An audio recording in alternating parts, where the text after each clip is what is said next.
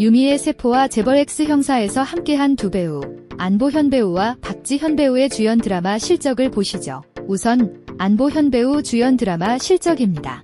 넷플릭스 오리지널 드라마 마이네임은 전세계 누적 1억 9,414만 시간을 달성합니다. 참고로 최고 시청률 순으로 표기하였습니다.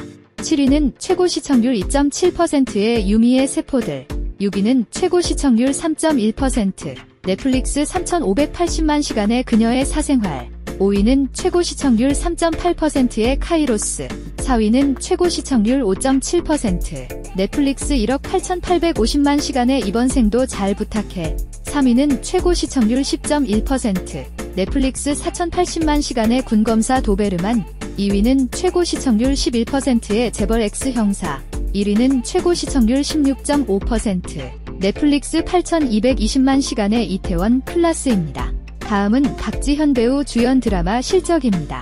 5위는 최고 시청률 1.9%의 너에게 가는 속도 493km, 4위는 최고 시청률 2.7%의 유미의 세포들, 3위는 최고 시청률 6.3%의 브람스를 좋아하세요?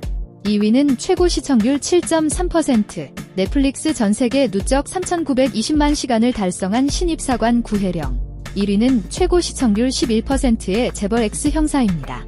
박지현 배우와 안보현 배우의 승승장구를 응원합니다.